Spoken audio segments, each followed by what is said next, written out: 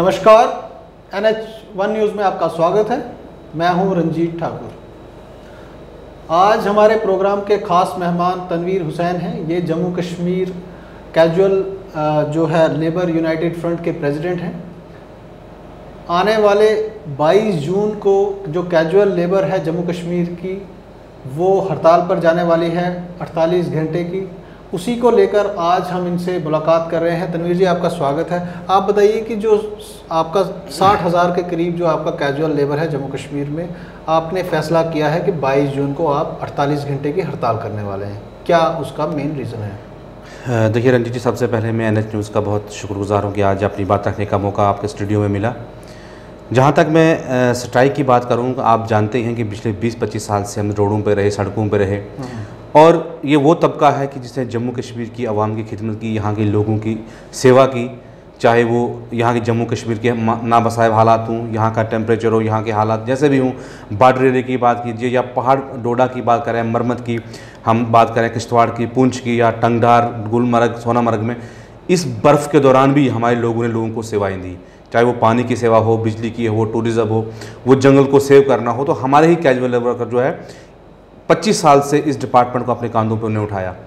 लेकिन रंजीत साहब, बहुत दुख की बात होती है कि जब एक उम्मीद बंदी बीस पच्चीस साल के बाद कि हमको जो हमने डिपार्टमेंट को सर्वाई किया है पच्चीस साल से तो हमें उम्मीद थी कम से कम की जो नई नौकरियाँ, नई रिक्रूटमेंट पॉलिसी की सरकार आज बात कर रही है, जो दस हज़ार नौकरियाँ जम्मू कश्मीर में आने वाली हैं तो स्ट्राइक पे मैन जाने का मकसद हम स्ट्राइक पे नहीं जाना चाहते थे, हमने बार बार सरकार को ये बोला। और आज भी आपके चैनल से हम यही बोलते हैं सरकार को कि हमें स्ट्राइक पे जाने का शौक नहीं है, क्योंकि इस कोविड नाइन्टीन में कोई भी अपने आप को रिस्क लेकर स्ट्राइक पर नहीं जाना चाहता और ना ही हम जम्मू कश्मीर के लोगों को इन हालातों में हम उनको, जो स्ट्राइक पर झोंकना चाहते हैं। लेकिन सरकार ने हमें मजबूर कर दिया कि हम स्ट्राइक की तरफ़ जाएँ और हमने जो 22 जून को Jammu Kashmir casual labour front, जो लगभग साठ हज़ार मुलाजमिन को लीड करता है, का फैसला ये हुआ है कि हम जो है सुबह अड़तालीस घंटे के एक प्रैक्टिकल दिखा दें सरकार को कि वाक्य यही लोग हैं जो काम करने वाले हैं। जहाँ तक बात दस हज़ार नौकरियों की करें, इसमें सरकार ने यह कहा है कि आपको पाँच पॉइंट दिए जाएँगे। तो ठाकुर साहब, मुझे बताइए कि जिस डिपार्टमेंट को हमने 20-25 साल दी, अपनी ज़िंदगी, आधी जवानी डिपार्टमेंट को दी, आज वो डिपार्टमेंट कह रहा है कि आपको पाँच पॉइंट देंगे दूसरा, सर एडमिनिस्ट्रेशन ये बोल रही है, आपको एज रिलेक्शन भी पाँच साल की दी जाएगी। लेकिन जब इस डिपार्टमेंट में हमारी एंगेजमेंट हुई थी, उस टाइम कोई लड़का 22 साल का था, कोई तेईस साल का था, उसे 20-25 साल को दिए। वो नए रिपोर्ट इस वक्त 50 को टच कर रहा है या 45 50 के मैक्सिमम 50 परसेंट रेशियो जो वही है। तो आज अगर पाँच साल की रिलेशन मिलती भी है तो वो कहाँ बेचारा उसको एग्ज़ाम में कंपेयर पाएगा? और दूसरी बात रिटर्न की बात हो रही है कि एक रिटर्न भी हमें क्वालिफाई करना पड़ेगा। तो अगर कोई प्रैक्टिकल टेस्ट हमें डिपार्टमेंट लेता हम उसके लिए तैयार हैं, लेकिन जो रिटर्न की बात की जा रही है फिफ्टी परसेंट लोग जो बेचारे अनपढ़ हैं, और जब यहाँ पर जब नए फॉर्म लगेंगे, यहाँ पे पीएचडी वाला भी फॉर्म भरेगा, क्योंकि जम्मू कश्मीर आप जानते हैं, पहले से अनएम्प्लॉयमेंट है, यहाँ पे पीएचडी वाला भी फॉर्म भरेगा, यहाँ बीए वाला भी फॉर्म भरेगा तो वो कहाँ उसको एग्ज़ाम कंप्लीट कर पाएगा?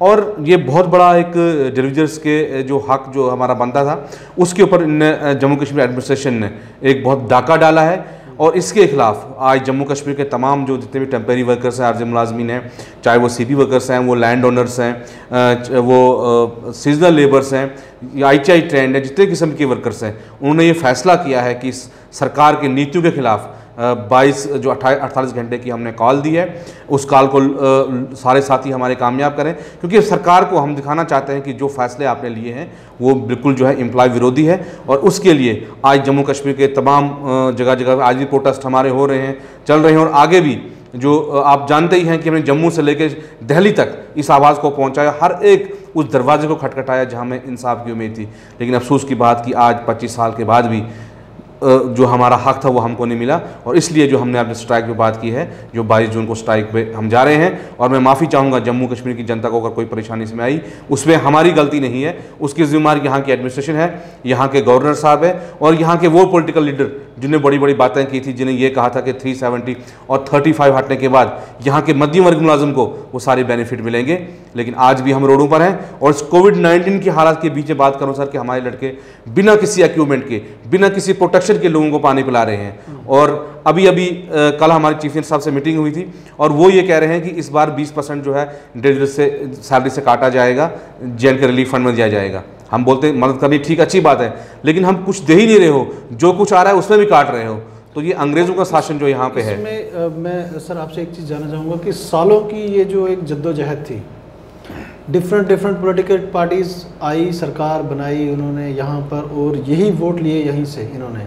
और हर बार एक वादा किया जाता था कि आप लोग घबराने की बात नहीं है, आप लोग हमारे साथ हैं, हम आपके साथ शाना बशाना खड़े हैं, और आपको हम परमानेंट कर देंगे।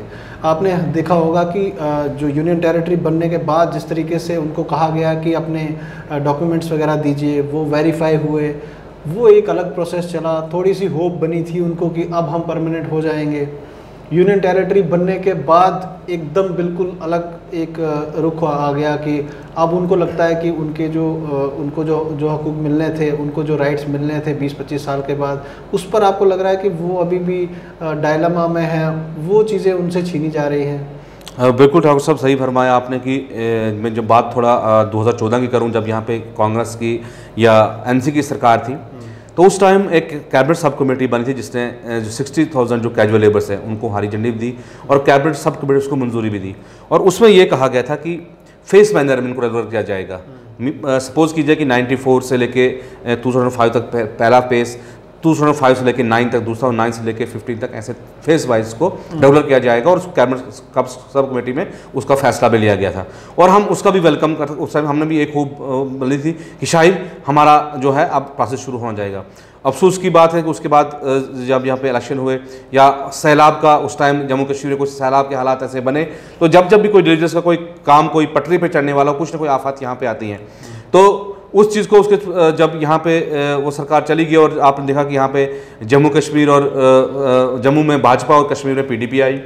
तो वो लोग भी उन्होंने भी बहुत वादे कि हमारे साथ जब हमारे धरने होते थे, वो हमारे धरनों में आते थे और हमें, उन्होंने ये वादा किया था कि अगर हमारी सरकार जम्मू कश्मीर में आप लाएँगे तो आपके लिए एक कंप्लीट रिक्रूटमेंट पॉलिसी जो है, वो हम लाएँगे और आपका जो, आपको हक जो नई पिछली सरकारों ने दिया है, वो हम आपको हक दे, दिलाएँगे। तो हमें भी उम्मीद के साथ ये वोट दिए, भाजपा ने जम्मू से 25 सीटें आए और दो एमपी हमने यहाँ से भेजे। कश्मीर से पीडीपी को आई तो एक साउथ पोल और नॉर्थ पोल का गठबंधन भी आपने देखा। और जब ये पूछा गया कि ये गठबंधन नॉर्थ और साउथ पोल क्यों हुआ उन्होंने कहा कि ये लोगों का फैसला है और लोगों के लिए कुछ एजेंडों पर ही गठबंधन हुआ है। तो मुझे समझ नहीं आई कि किन एजेंडों पर गठबंधन हुआ था और एक लंबी लड़ाई फिर हमको लड़नी पड़ी। और उस लड़ने के बाद आपने देखा होगा कि आपने भी बहुत कवरेज है कि जहाँ सेक्रेट का घेरा हो चीफ इंजीनियर ऑफ़िस के अंदर धरने हों, भूख हड़तालें हों, और फिर जाके कहीं जो सरकार ने ऑनलाइन किया, और उस टाइम के जो फाइनेंस मिनिस्टर हसीब द्राबू है। On the assembly, on the floor उनने ये माना कि ये लोग, चाहे जैसे भी जिससे भी लगे, उनको एक्सेप्ट किया गया, और ये कहा गया कि इनको जो फैसले उसमें हम रेगुलाइज करेंगे, और बजट में उनको पैसा रखने जा रहे हैं। लेकिन अफसोस की बात कि वो सरकार भी ज़्यादा देर नहीं टिक पाई, और ठाकुर साहब मैं आपको बोलूँ कि कभी वो सरकारें या वो हुकूमतें नहीं चल पाती हैं जिसमें गरीब का खून जिस कुर्सी पे लगा हो वो कुर्सी ज़्यादा देर नहीं बचती है। और आपने देखा कि अचानक से गठबंधन टूटा और एक S R O five twenty जो हमारे हम पे थोपा गया मैं कहूँगा उसमें। आज एस आर ओ दो सौ दो की बात आप हर चैनल पर देखते हैं हर मीडिया उसको उठा रही है। अच्छी बात है लेकिन उनका प्रोफेशनल पीरियड ये तो है कि पाँच साल के बाद वो उनको पूरे सर्विस रूल दिए जाएँगे। लेकिन S R O five twenty के ऊपर कोई डिस्कस करके तैयार नहीं है। S R O five twenty जो जम्मू कश्मीर के साठ हज़ार लोगों के लिए एक फांसी का फंदा मैं कहूँगा उसे एस आर ओ नहीं कहूँगा। जिसमें मैं आपको थोड़ा दो तीन पॉइंट्स में बोलना चाहूँगा आपको मैं डिटेल में, कि उसमें यह कहा गया है कि जिसके दस साल हैं, उसको दस हज़ार रुपया दिया जाएगा। जिसके पंद्रह साल है, उसको पंद्रह हज़ार रुपया दिया जाएगा। इस इस करके जो उनने उसके जो पैरामीटर लगाए हैं उस एसआरओ में, और उसमें कोई टी ए डी ए की बात नहीं है। उसमें जो मेडिकल अलाउंस है रिस्क अलाउंस है कोई भी अलाउंस की उस, उसमें बात नहीं है। ना ही उसका जो जब रिटायर होगा कोई जीपी उसका जो बनेगा वो मिलेगा या पेंशन कुछ भी ऐसा चीज़ उसमें नहीं है। तो एक फिक्स कैप खाली डिज़ीज़ के ऊपर लगाएगी अपने सर से पर बात डालने की कोशिश की और हमेशा से आज नहीं हमेशा से जब भी जम्मू कश्मीर में पैसे की कमी ठाकुर साहब कभी नहीं रही। मैं आपको याद दिलाना चाहूँगा जब यूपी की सरकार यहाँ पर थी दो हज़ार में तो उस टाइम भी जो दो हज़ार करोड़ का पैकेज आपको याद होगा मनमोहन सिंह ने कश्मीर में आके ऐलान किया था। एक भारी भरकम पैकेज जम्मू कश्मीर के लाया था। उसके बाद जब भाजपा की फ़र्स्ट टर्म आई अस्सी हज़ार करोड़ का एक बहुत बड़ा पैकेज जो है जम्मू कश्मीर को दिया गया। उसके बाद अब हाल ही लॉकडाउन की बात करें इससे पहले आर्थिक अंधी को और जिसमें खुद जो सीतारमैया जो हमारी फाइनेंस मिनिस्टर है उनने ये कहा है कि जो झाड़ीदार लोग जो हैं, जो मजदूर लोग हैं, हम भी तो झाड़ीदार में ही आते हैं, हमारे साथी भी। तो उन्होंने कहा उनको कम से कम को सामान्य वेतन दिया जाएगा। उसके लिए 20 लाख करोड़ का एक बहुत बड़ा पैकेज भी जो दिया लेकिन अभी के अभी जो हमारे जो है घर खाली है, हमारी प्लेटें खाली है, हमारे बच्चों को स्कूल से बाहर निकाला जाए इतने भारी भड़कम पैकेज जम्मू कश्मीर में आने के बावजूद भी हम लोगों को जो है कुछ नहीं मिला। तो एक चीज़ मैं हमें आपसे ये जानना चाहूँगा कि ये जो साठ हज़ार या एक लाख का जो फिगर ये आता है कि इतने हमारे पास कैजुअल लेबर या डेली हैं, वो ये सारा आप किस पे इल्ज़ाम लगाते हैं कि किसने ये सारा इतना क्रिएट किया? क्या आपको लगता है कि जो पॉलिटिकल लीडर्स थे यहाँ पर जिस तरीके से उन्होंने सियासत की, वो लोगों को जो जॉब देने के नाम पे जैसे पाँच सौ रुपये में कोई रख दिया, हज़ार रुपये पे कोई रख दिया या वो आपको लगता है कि वो एक रीज़न रहा कि ये इतने ज़्यादा लोग हो गए कि जिनको आ, कहीं पे एडजस्ट नहीं हो पा रहे हैं? क्या रीज़न रहा कि वो सबसे बड़ा क्या कारण आपको लगता है? देखिए सर इसका रीज़न तो यही लगा कि पॉलिटिकल लोग तो सबसे बड़ा जो ब्रांड है जो पॉलिटिकल लोगों ने हमारी ज़िंदगी के साथ किया है हमारे कैरियर को डिस्ट्रॉय कर दिया। चाहे वो कोई भी पार्टी है मैं खुले से कह कहना चाहूँगा। और सपोज़ कीजिए अगर आप मिनिस्टर हैं आपने अपने दस बंदों को लगा लिया अगर सोचा कि मेरे पास अगर दस वोट है तो आपके दो बंदों को लगा दिया मेरे दस वोट आए। अगर दूसरे का किसी सरपंच आया उसने बोला कि मेरे पास इतने वोट हैं उसके पचास बंदों को लगा दिया। किसी को पाँच सौ पे लगाया किसी को ढाई सौ पे लगाया गया और हमारे लोगों को नौकरी के नाम पर उनकी ज़िंदगी को तबाह कर दिया गया। और उसके बाद मैं कहूँगा कि दो तीन हज़ार लोग चार हज़ार लोग इस तादाद में भी थे दो हज़ार चौदह तक हमारे पंद्रह तक हमारे पास जिनको सिर्फ़ पाँच सौ रुपये केवल दिया जाता था वो भी दिवाली ईद पर दिया जाता था। लेकिन हमारी एसोसिएशन ने एक संघर्ष किया एक लड़ाई की। लगभग दो से तीन हज़ार लोगों को हमने जो एक मिनिमम वेज मतलब जो आज है चाहे शार्ट सिक्सटी सेवन हंड्रेड दे रहे हैं हमने मैक्सिमम साथियों को वहाँ तक पहुँचाया। लेकिन ठाकुर साहब ऐसे भी कुछ लोग आज भी अभी लोग कुछ हैं जो अभी ऑनलाइन भी नहीं हुए। उसमें आप कठुआ की बात करें? उसमें आप उधमपुर की बात करें, रियासी की बात करें, पुंछ की बात करें, जिनको अनपेड और एम्बेस्ट का नाम देके उनसे अभी भी मजदूरी कराई जा रही है। तो दुख की बात होती है कि जिस देश में जिन पॉलिटिकल लीडरों को हमको चुन के भेजा हो, जिन एडमिनिस्ट्रेशन जिस एडमिनिस्ट्रेशन को लोगों के लिए बनाया हो, कहते हैं कि government by the people for the people of the people तो मुझे नहीं लगता है कि यहाँ जो ऑफ़ दी पीपल या फॉर दी पीपल सरकार रही यहाँ पे यहाँ पे जो है, यहाँ पे डेमोक्रेसी नहीं है सर, यहाँ जम्मू कश्मीर में जो है, यहाँ डिक्टेटरशिप है। यहाँ डिक्टेटरशिप का रूल चल रहा है। तो अब ज़्यादा देर ये रूल नहीं चलने वाला है। नए नए ऑर्डर्स यहाँ पे आ जाते हैं। अभी डोमिसाइल की अगर बात करूँ, उसके थ्रू भी यहाँ पे नई लगभग पाँच दस लाख नए जो लोग होंगे, वो जो बाहर से लोग आके वो नौकरी का क्लेम यहाँ पे करेंगे। अभी आने दो, अब इसको चलने दो। लेकिन हमें पीआरसी बनी थी, हमारे स्टेट सब्जेक्ट जहाँ भी जाते थे हम, हमें स्टेट सब्जेक्ट हमें नौकरी मिलती थी। तो अगर आपको चाहिए था डॉक्यूमेंट्स तो स्टेट सब्जेक्ट आप लीजिए। अब इस टाइम नई नौकरी लिया। अब हम पहले वो डोमिसाइल सर्टिफिकेट बनाए, हम लाइन में लगे। और डेलीवेजर क्यों लाइन में लगे? सबसे बड़ी बात हमें सर 25 साल डिपार्टमेंट को दिए आज हमें बोलते हैं, आप बाकी लोगों के साथ लाइन में लगो। हम उस लाइन में नहीं लगेंगे। हमारा clear cut Jammu Kashmir casual liberated fund का ये क्लियर स्टैंड है कि हमें ना ही हमारा कोई साथी फॉर्म इसमें फिल करेगा, हम इसका पूरी तरह से बाइकाट करते हैं। और हमारी ये मांग है कि आपने पचास हज़ार छोड़ के आप साठ, आप एक लाख लोगों को रोज़गार दीजिए। हम उस रोज़गार के खिलाफ नहीं है। जम्मू कश्मीर में, जहाँ से पहले अनएम्प्लॉयमेंट बहुत बड़ी है, आप उनको रोज़गार दीजिए। ये तो ये भी कह रहे हैं, भाजपा के लोग तो ये भी कह रहे हैं कि पीओ के भी हमारा हिस्सा हम भी मानते हैं। आप पचास हज़ार उनके लिए भी रिज़र्व रखिए। जैसे असेंबली में आपने उनके लिए कोटा रखा है, आप यहाँ इन नौकरी में उनके लिए कोटा रखे। लेकिन अगर आप ये कहेंगे कि हमारे ऊपर बुलडोजर चला के, हमारे जो बच्चों के कैरियर से ऊपर जो आपने जो ये वो खंजर घूमपा है, ये घूम के अगर अगर हमारी नौकरियाँ आप किसी और को दोगे, हम वो बर्दाश्त नहीं करेंगे। और यहाँ का सर्विस रूल ये कह रहा है कि जिस डिपार्टमेंट ने जिस कैजुअल लेबर ने सात साल दिए हैं उसकी, उस डिपार्टमेंट की, उसकी फोर्थ क्लास की जो नौकरी है, उसी का हक है। सर, हमें डीसी तो कोई नहीं, लगा नहीं रहा है ना। आई की पोस्ट तो हम नहीं मांग रहे हैं ना। हम वही फोर्थ क्लास की नौकरी मांग रहे हैं और उसके लिए भी आज हमें लाइन में लगाया जा रहा है। उसके लिए भी हमें टेस्ट की बात की जा रही है, पच्चीस साल देने के बाद डिपार्टमेंट तो क्या लगता है, ये एक तरह की हरासमेंट होगी अब? जहाँ की मैक्सिमम लोग जो यहाँ से रिटायर हो जाते हैं ओवर एज हो जाते हैं डेली वेजर में ही। किसी की पाँच सौ रुपये तनख्वाह है, किसी की हज़ार रुपया तनख्वाह है। उसके अलावा जो डेथ हो जाती है उनकी या जिस तरीके से कोविड में इस समय काम कर रहे हैं, क्या कोई पॉलिसी है गवर्नमेंट के पास इसको लेकर? बिल्कुल भी, सर। अभी मैं आपको कहूँ कि साढ़े तीन सौ के करीब ऐसे साथी हमारे हैं जो जिन जिनकी डेथ हो गई है जिनकी आपने देखा होगा चाहे वो पीएचई की बात करूँ मैं या पीडीडी की बात करूँ आपने देखा कि हाथ कटे हुए साथियों के जिन्होंने जाने गंवाई किसी ने अपना भाई गंवाया किसी ने अपना बाप गंवाया किसी ने पति गंवाया तो अभी भी ऐसे साथी मैक्सिमम आप देखेंगे पिछले सोशल मीडिया पे पिक्स वायरल हुई थी किसी का कहीं पे हाथ नहीं है टांग नहीं है और डिपार्टमेंट को उनने एक अपना अंग दान अंग दे दिया और आज डिपार्टमेंट उनको ये कह रही है और उन बेचारों को अभी तक कितना है कि उनको भी अभी तक ऑनलाइन नहीं किया गया है। तो इतना बड़ा जुल्म जो जम्मू कश्मीर के ऊपर हो रहा है और रेगुलर तो छोड़ो सैलरी छोड़ो, वो तो दूसरी बात है। लेकिन अभी तक उनको गवर्नमेंट खाते तक नहीं लाया गया है, जो अपना अपना एक हिस्सा इस डिपार्टमेंट को दे गए हैं, जिनने अपनी ज़िंदगी डिपार्टमेंट को, कुर्बान इस डिपार्टमेंट के पीछे हो गए। शहीद तो सर ये लोग हैं, वो लोग शहीद नहीं है, जिनको कहते हैं शहीद कहते हैं, शहीद हम लोग हैं। और आप देखते होंगे आजकल जो भी डिबेटें होती है, राष्ट्रवाद की बात की जाती है, देशभक्ति की बात की जाती है। तो सर मैं बोलता हूँ कि हमारे से ऊपर देशभक्त कोई नहीं होगा। इसने 25 साल जम्मू कश्मीर के जनता को पानी पिलाया और भूखे पेट हमने यहाँ देश की सेवा की। और सर मैं यह भी उन लोगों को उन लीडरों को बताना चाहता हूँ कि देश पत्थरों से या ज़मीन के टुकड़ों से नहीं बनता है। देश देश के लोगों से बनता है। और जब तक इन देश के लोगों की बात उठाओगे इनको अपना हक नहीं दोगे तब तक ये आवाज़ ऐसे उठ, उठती रहेगी। और आज तो ये सर ये बात ये नारा दे रहे हैं बेटी पढ़ाओ और बेटी बचाओ। मुझे बोलिए कि जिस कैजुअल लेबर को साल में सिर्फ़ टेंथ सैलरियाँ मिलती हैं या इस अगर मंथली मंथली सैलरी भी अब सरकार ने पीछे देने शुरू की थी एक बड़ी लड़ाई लड़ी हमें मुझे सर ये बोलिए कि सुप्रीम कोर्ट कहता है कि हर एक इंसान को डिग्निटी से अपनी उसको लाइफ जीने का हक सुप्रीम कोर्ट कहता है। तो मुझे सर बोलिए पाँच हज़ार या चार हज़ार में कौन सी डिग्निटी की लाइफ दी जाती है? आज अगर दूध का लेकर चल बच्चों का, उनका फ़ीड हमें पूरी नहीं होती है। उनका बुक्स उनकी एडमिशन देखो तो वो हमें पूरी नहीं कर सकते हैं। तो क्या कभी आपका जो तबका है इतना बड़ा कभी कभी आपको लगता है कि हमारे साथ एक बड़ी नाइंसाफ़ी हुई है। आप तो एज ए गवर्नमेंट एम्प्लॉय माने जाते हैं। आपको लोग बोलते हैं, ये तो गवर्नमेंट मुलाजिम है जी। ये इनके घर में गवर्नमेंट मुलाजिम है। मगर जो कंडीशंस हमने देखी हैं रिमोटेस्ट एरियाज़ में, इतने डिफ़िकल्ट सिचुएशंस में काम करते हुए, लोगों को जूते नहीं होते हैं पाँव में। उसको लेकर क्या कहेंगे आपकी सिचुएशन कैसी है आपके एम्प्लॉयज़ की जो रिमोटेस्ट एरियाज़ में लगे हैं? और अब मुझे नहीं अब आइडिया है कि उनको शायद रेगुलर सैलरीज भी मिलती हैं।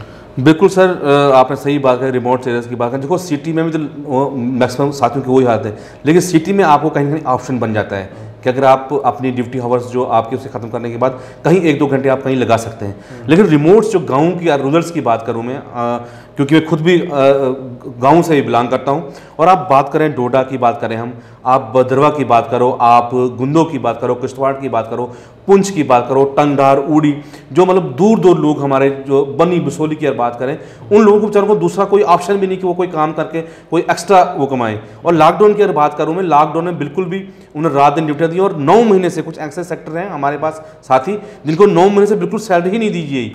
उनको ऊपर सरकार ने क्या है, बारह वजह का राइडर लगा दिया। वो देखा होगा, पीछे आपने भी न्यूज़ सुनी होगी कि सरकार एक साइड से सर कहती है कि सतारह तीन दो हज़ार पंद्रह में बैन लगा देती है। जिसके बाद कोई भी वर्कर जो है डिपार्टमेंट एंगेज नहीं होगा और हमने तमाम ट्रेड लीडर्स उसका वेलकम किया। लेकिन सतारह तीन दो हज़ार पंद्रह से पहले जो एंगेजमेंट हुई है, वो सरकार खुद उनको मान रही है और सरकार ये कहती है कि जिसके बारह सीवी होंगे उन दो हज़ार सोलह तक उनको सैलरी दी जाएगी। मुझे सर ये बात बोलिए, हम काम करें, हम लोगों को पानी पिलाएँ कि हम सीवी बनाएँ। सरकार ने सैलरी दी थी सीवी कहाँ से बनेगा?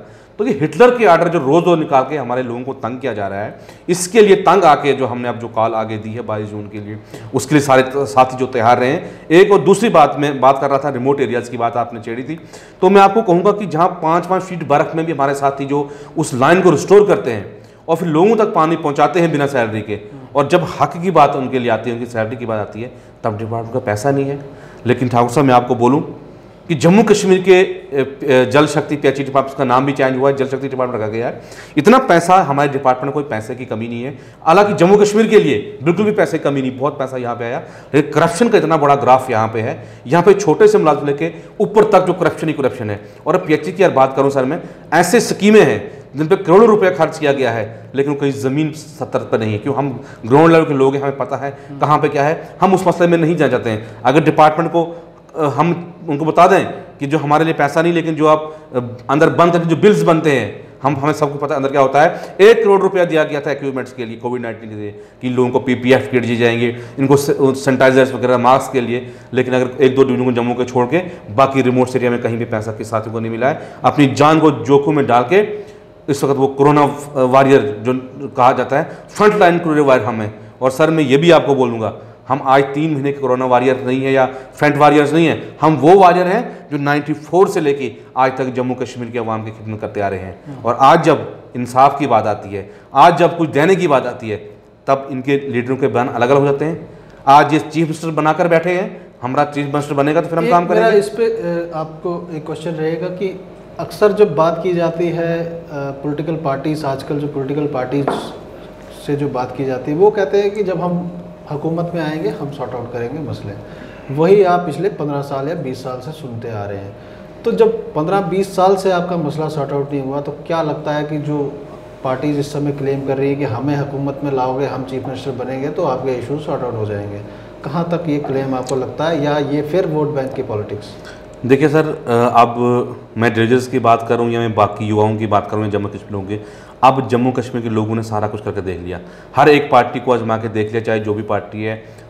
जिसका जम्मू कश्मीर की जो यूटी स्टेट है यह लीडरलेस हो चुकी है।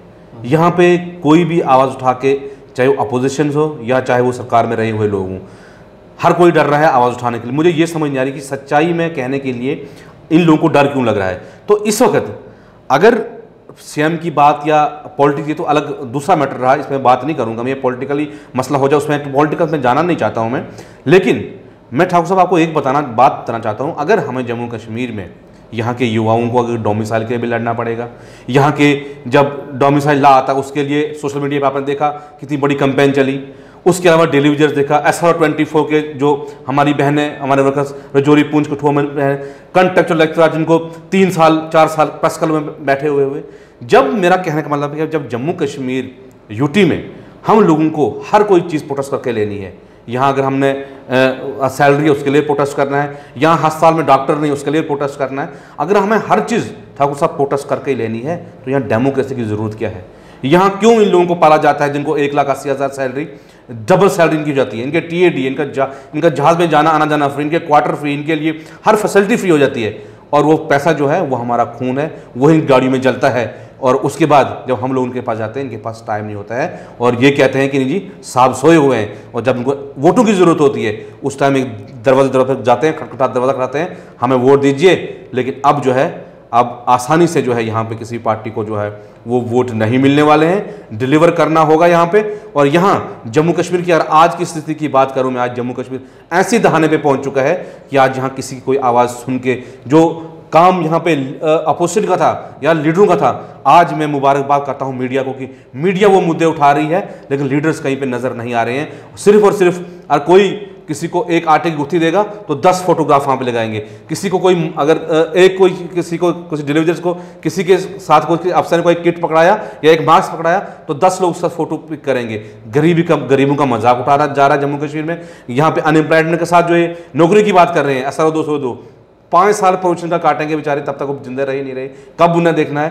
तो एक बहुत बड़ा धोखा। इसलिए मैं कहता हूँ कि ये बहुत बड़ा धोखा जम्मू कश्मीर के लोगों के साथ आ रही है। ना पे नौकरियाँ हैं, ना यहाँ कुछ है। ये सिर्फ़ लोगों को बेवकूफ़ बनाने की कोशिश की जा रही है। इसलिए मैं ज़्यादा न कहते हुए आपके चैनल से मैं यही मैसेज जो है अपने सुनने वालों तक भी पहुँचाना चाहता हूँ। खास करके जम्मू के लोगों से मैं ये माफ़ी मांगना चाहता हूँ और सपोर्ट भी मांगना चाहता हूँ आपके चैनल के ज़रिए कि हम नहीं चाहते हैं कि हम आप लोगों को परेशानी में डालें। हम आप लोगों को कोई और दुविधा में डालें। पहले से जम्मू कश्मीर जो इस कोविड नाइन्टीन हालात में दिन ब दिन हमारे केसेस बढ़ रहे हैं। हम नहीं चाहते हैं कि हम इसको, इस हालात में भी आपको परेशान करें। लेकिन यहाँ की एडमिनिस्ट्रेशन यहाँ का जो ये पॉलिटिकल तंत्र है वो हमको मजबूर कर रहा है इसलिए आपको भी हमारी सपोर्ट करनी होगी हमारे साथ आना होगा हम आपने आप लोगों को पानी पिलाया है बिजली दी है इस हालात में आगे भी हम आपकी सेवा करेंगे लेकिन यहाँ जम्मू कश्मीर की सरकार ने हमें मजबूर कर दिया और साथ ही साथ मैं एक मैसेज अपने casual labours daily users seasonal labours को भी देना चाहता हूँ यहाँ से कि यूनाइट हो जाइए और 22 जून को जो अपनी ताकत है वो सरकार को दिखाइए कि आप में कितनी ताकत है और इस आंदोलन को हमें सड़कों पर लड़ना पड़ेगा सड़कों पर भी लड़ेंगे अगर कोर्ट का रुख इसके लिए ठाकुर साहब हमें इस्तेमाल करना पड़ेगा। तो हमने एडवोकेट फर्टिलिटी से हमारी ऑलरेडी बात चल रही है। हम इस ऑर्डर को और मिनिवेज एक्ट जो पूरे हिंदुस्तान में लागू है आज, जम्मू कश्मीर मिनिवेज एक्ट नहीं दिया जा रहा है। इक्वल वर्क इक्वल पे जहाँ बात सुप्रीम कोर्ट का ऑर्डर है, वो भी हमें दिया जाता है। और मैं बात करूँ अगर सीजनल लेबर्स या कश्मीर में एक फर्टिलिटी सीजनल में तीन हज़ार के करीब सीजनल लेबर्स हैं। और अभी तक उनको सिर्फ़ साल में तीन बार ही सैलरी दी जाती है उनकी सर्विस को पूरे साल जो है यूज़ किया जाता है डिपार्टमेंट ज़रिए। तो दुख होता है कि वहाँ एक साथी मुझे कह रहा था कश्मीर से, मेरा प्रेसिडेंट जो है, कश्मीर प्रोविंस का, इमरान परे उसने मुझे एक बार बात सुनाई, उसने कहा कि तनवीर साहब, यहाँ जो सीजनल लेबर है, एक साथी मैक्सिमम मर चुके हैं उसमें बेचारे। तो उसने कहा था कि जब एक साथी की डेथ हुई साथ साथियों कहा यार तो मैं तो शायद मर जाऊँगा, लेकिन जब मैं मर जाऊँगा, जब सीजनल लेबर आपको डिलीवर बनाएँगे ना कैजुअल लेबर उस टाइम आप आना और मेरी कबर पे, तेज पत्थर से आप खोदना, ताकि उस टाइम मैं समझूँगा कि मेरे सीजनल लेबर को इंसाफ मिलेगा। तो इस हिंदुस्तान में हम जी रहे हैं। आज हम डेमोक्रेसी की बात कर रहे हैं। आज दुख होता है हमें कि क्या महात्मा गांधी, राष्ट्रपिता महात्मा गांधी ने, उसने ऐसे भारत की कल्पना कल्पना की थी कि जहाँ मजदूर और किसान को आज अपने हक रोडों पर आना पड़ेगा और उसको प्रताड़ित किया जाएगा और उसको दो वक्त की रोटी नहीं जाएगी। ये बहुत गंभीर विषय है। इस पर तमाम पॉलिटिकल पार्टी को सोचना पड़ेगा। यहाँ के ट्रेड यूनियन लीडर्स को, जिनकी जलसे हमने सजाए हैं, जिनके सातवें पे कमीशन की लड़ाई हमने लड़ी उनने लड़ी तो हमने साथ दिया। जिनको टी ए उनको मिला, हमने हमने मार खाई, हमने डंडे खाए। आज वो लोग कहाँ बैठे आज उनको ये स्पष्ट करना पड़ेगा कि क्या? प्लीज़ सर एक मिनट क्लियर करता हूँ। उनको स्पष्ट करना पड़ेगा उन ट्रेड लीडर्स को कि वो सरकार के साथ खड़े हैं या वो डिलीवरी के साथ खड़े हैं। उनको 22 जून को इस चीज़ का, लड़कों को जवाब देना पड़ेगा। नहीं तो अब हम उनसे भी रिक्वेस्ट करते हैं, हमें कोई आपकी हमदर्दी की ज़रूरत नहीं है, हमें खाली प्रेस कॉन्फ्रेंस नहीं चाहिए, हमें फैसला कुल लड़ाई जो है डिलीवरी की लड़नी है, और उसमें सामने आते हैं तो ठीक है, नहीं आते हैं तो हमें कोई ज़रूरत आपकी प्रेस कॉन्फ्रेंसों की नहीं है। मेरा इसी पे एक क्वेश्चन था कि जो साठ हज़ार ये जो डेली वेजेस की बात आपने की, आपको नहीं लगता है कि आप ही के जो ट्रेड यूनियंस थी, जो अलग अलग यूनियंस बनी थी, जो हमेशा इन लोगों को साथ में लेके चलने की बात करती थी, ये बोलते थे, यही हमारे नेता हैं। कहीं ना कहीं गुमराह हो गए या उनकी बातों में आ गए हक कभी तक मिला नहीं। देखिए सर, क्या था कि इसमें बेचारे जितने भी मैक्सिमम लोग, बेचारे अनपढ़ लोग थे, और उनको जैसे जिसने चलाए वैसे चले ये। इनको किसी ने बोला कि आपको ट्रेड यूनियंस के लिए आपने कोई चंदा देना है तो वह भी हम लोगों ने दिया, हमारे वर्कर्स ने दिया, क्योंकि वो बेचारे मजबूर थे।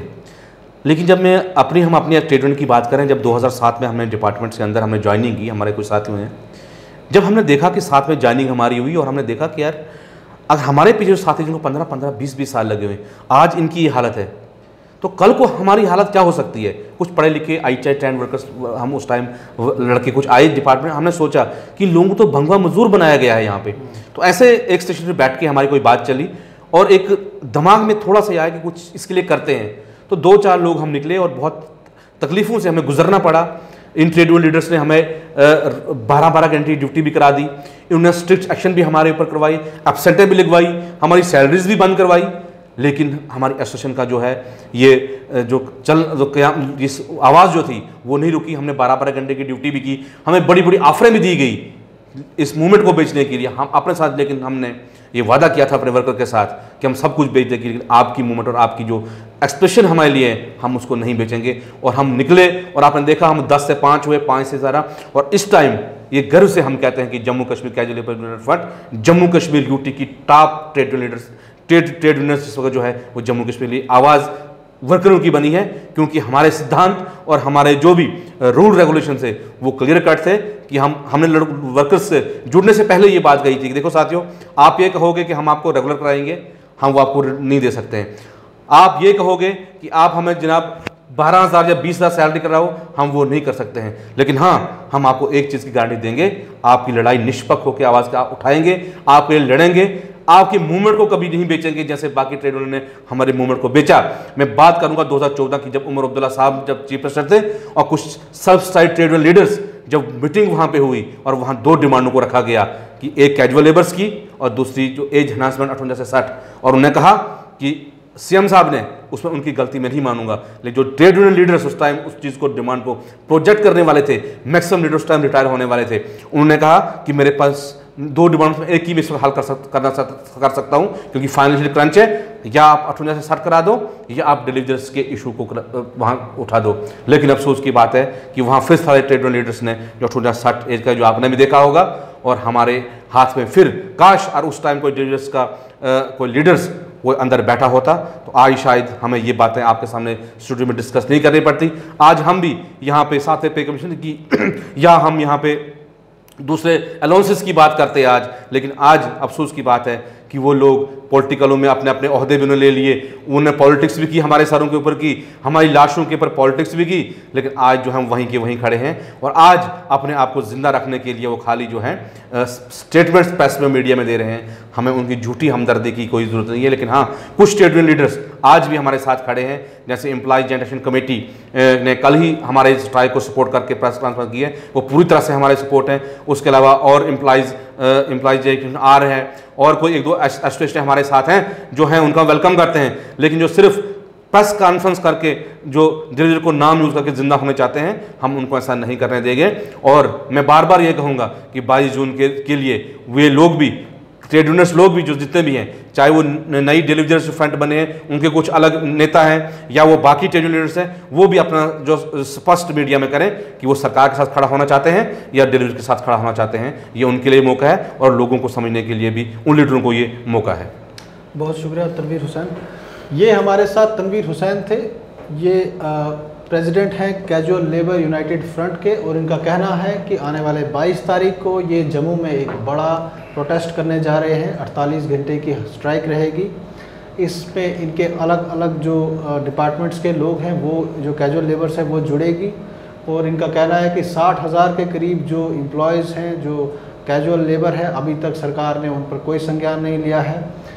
पिछले कई सालों, कई दशकों से जिस तरीके से पॉलिटिकल पार्टीज़ ने इनको यूज़ किया है वोट बैंक के लिए, इनका कहना है कि आने वाले दिनों में इस तरीके की कोई भी हरकत को बर्दाश्त नहीं किया जाएगा और जो लड़ाई है अब सड़कों पर लड़ी जाएगी। आने वाले दिनों में और भी लोगों से आपकी मुलाकात कराएँगे। तब तक आप जुड़े रहें एन न्यूज़ के साथ।